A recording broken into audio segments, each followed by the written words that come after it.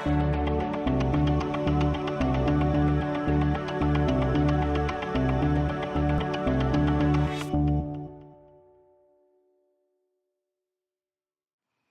her video handler om brygger. Den handler om at lægge brygger sammen og trække brygger fra hinanden. Brygger plus og minus. Brygger er tal. Derfor kan vi lægge dem sammen og trække dem fra hinanden som alle andre tal. Eksempel en halv plus en fjerdedel. Det giver 3 fjerdedel. Det kan jeg vise på den her måde. Jeg tager en halv. Jeg tager en fjerdedel. Så lægger jeg dem sammen ved at lægge dem helt tæt op af hinanden. Nu har jeg fået en ny brøk. Det spændende er så, hvad hedder den der nye brøk? Her er det ikke så svært at se. Her kan man næsten med det blotte øje se, at det er det samme som den her brøk, som hedder 3 fjerdedel. Og det er det, der står. Et andet eksempel. En fjerdedel plus 2 tredjedele. Det giver 11 tolvdele. Ja, igen. Jeg tager fjerdedel. Jeg tager to tredjedel. Jeg lægger dem sammen. Sådan. Nu er det bare rigtig svært at se, hvad det egentlig er for en brøk, vi har fået lavet der. Der er der et lille trick, man kan lave. Man kan nemlig tage den ene brøk, fjerdedelen, og klippe ud i den anden brøks nævner, som var tredjedel. Så vi klipper altså fjerdedelen ud i tre lige store stykker.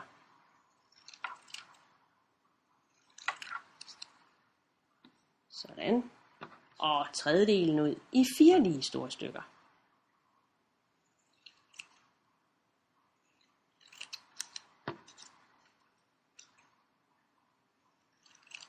Det var den ene.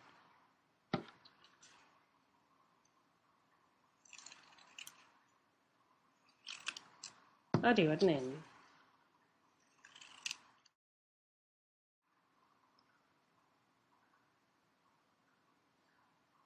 Nu kan man så tælle, hvor mange små stykker vi har fået ud af det her. Vi har altså fået 1, 2, 3, 4, 5, 6, 7, 8, 9, 10, 11. 11 lige store stykker. Hvad er det så for en størrelse stykker, vi har fået ud af det? Det kan vi finde ud af ved at tænke på, at vi har klippet den oprindelige fjerdedel ud i tre. Havde vi nu klippet de andre tre fjerdedele ud på samme måde, ville vi alt, have, alt i alt have haft 3, 6, 9, 12 små stykker, der var lige store, altså 12 dele. Og det er jo det, vi har regnet ud her, at det gav 11 12 dele. På samme måde kan man også trække fra en tredjedel minus en fjerdedel. Det giver faktisk 1 12. Nu udnytter jeg stykkerne fra før. Tredjedelen, det var de her fire små stykker. Og fjerdedelen, det var tre små stykker. Så at tage en fjerdedel væk fra den her tredjedel herover svarer til at fjerne de her tre. Så er der en tilbage. Den hed 12. del. Det vidste vi fra før. Man kan også bruge lommeregner. 3 fjerdedele plus 2 tredjedele. På mange moderne lommeregner, der kan man faktisk tage brøker ind, præcis som de står. Det prøver vi lige at gøre. 3 fjerdedele plus 2 tredjedele. Det giver 17 tolvdele, står der. Nu kan det jo godt være, at man ikke er tilfreds med at have fået den om til 17 12 dele, men hellere vil have det som decimaltal. Det kan man også få det lavet om til. Det gør vi lige. E 1,416666. E Og afrundet bliver det til e 1,42. Vi kunne også have valgt at oversætte det brøkerne til decimaltal fra starten, så 3 fjerdedele var blevet til 0,75. De to tredjedele til 0,67. Og så have tastet dem ind på lommeregneren, og så have fået 1,42. Hvis vi nu lader os inspirere af det, vi gjorde ved at klippe, så kan vi også finde ud af, hvad man skal gøre ved tal alene. Hvis vi altså har en halv plus to tredjedel, så kan vi tænke på, at den halve klippede vi ud i den anden brøksnævner.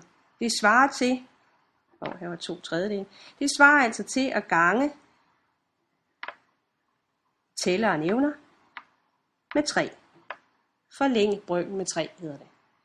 Og klip tredjedelene ud i to stykker hver, fordi der stod to i nævneren derover, så vi ganger med to for neden og for oven.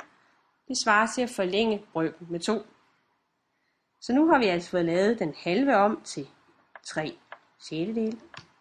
De to tredjedele har vi fået lavet om til 4 sjettedele.